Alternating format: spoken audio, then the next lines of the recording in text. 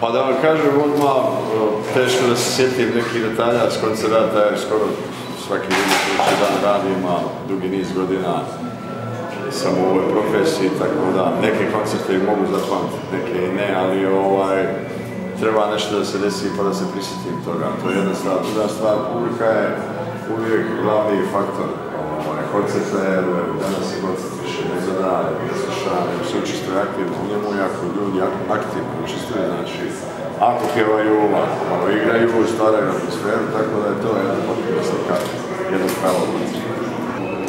Vaše, uh, is- uh, pišete uh, vaše pesme, izvodite vaše pesme, pišete i za druge pevače. Um, ono što mene interesuje, kako nastaje vaše pesme? Gdje Pa pronalazite? dobro, ne znam ja kako baš nastaje, jednostavno onako počnem raditi, pa to se desi tako i rodi se neka pesma, ali uglavnom nije to običan posao da se ovaj, krene ujutro, ne znam, negdje od 7-8 sati, pa sad idem da pravim pesmu i da pišem.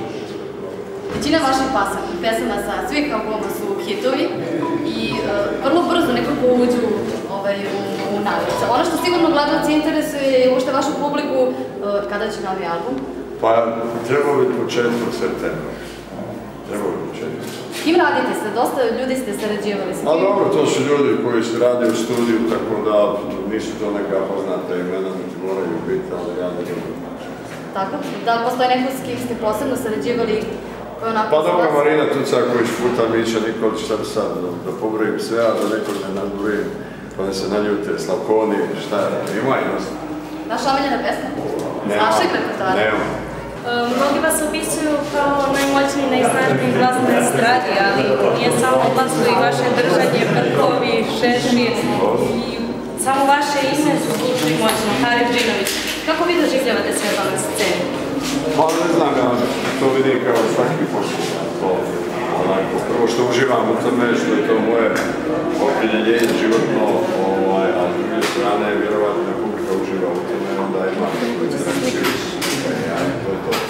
Kada ste vi u videnju, iznenađenja. Izađete na scenu, uzmete mikrofon, mogu putiti na korsam i krenete peva sa vama i u čemu je tajna? Pa ne znam tajno u čemu je, ali vjerovatno se to što ja radim publici dopada. Čemu se dopada, nešto oni to priznavaju. Kralj Meraka večeras u Pirotu. Kako je vaše mišljenje o Piroćancima? Pa, mišljenje o piročancima je dobro, da nije dobro ne bi došao. Hvala.